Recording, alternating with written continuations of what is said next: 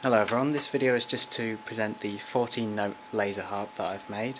It's a framed laser harp which means that um, all the sensors are enclosed in the frame. There are different kinds of laser harps. Um, obviously there's the big stage ones you might be familiar with and they work on a different principle but these have a, a row of photodiodes that will detect the laser light and detect when it's broken. So the lasers I'm using are very low power. Obviously you can't see the can't see the beam in the air. You can just see where it's hitting. So it's it's quite low power and it shouldn't shouldn't cause any damage to anyone, even if there's direct reflections. Uh, this is uh, an MDF frame. There's a bit of aluminium plate and it's all powered by an Arduino. So I'll just take you through a couple of things it does. The the blue buttons here, they control the kind of scale you're playing. At the moment it's set to a chromatic scale, so I'll just play that for you.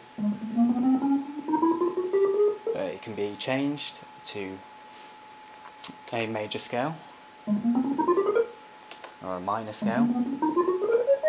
Uh, there's a lot of different scales in there, but um, I'll just flick through. There's some arpeggios as well. So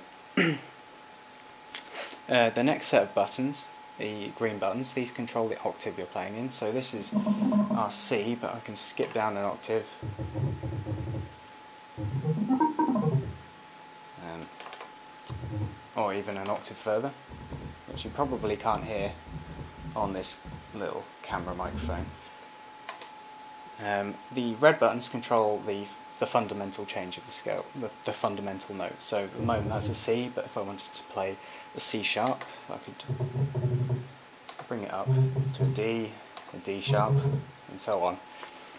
Um, another thing about this laser harp is it's velocity sensitive. The idea of that being that if you play a note quickly, it will be loud. If you play it slowly, it will be quiet. So here's a loud note or a quiet note.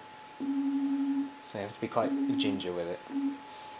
Um, and that's that's pretty much it. That covers all its functions. Um, I'll be presenting this at the Manchester Mini Maker Faire on the 28th and 29th of July, along with a couple of other things which hopefully I'll be doing videos for as well. So keep watching.